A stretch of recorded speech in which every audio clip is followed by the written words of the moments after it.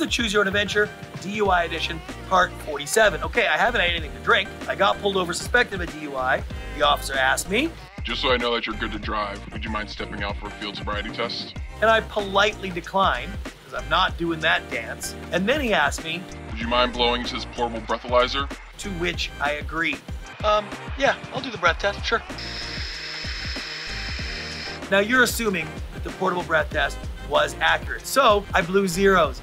That should end it, right? Off I go. Haha, officer. Told you. Uh, not usually. Most likely he's gonna start asking you, What kind of drugs you been taking tonight? drugs? Oh no, of course not, officer. Truth is, if I didn't do field sobriety test, I blew zeros, I emphatically said no to drugs, there's almost no chance he has enough evidence to arrest me.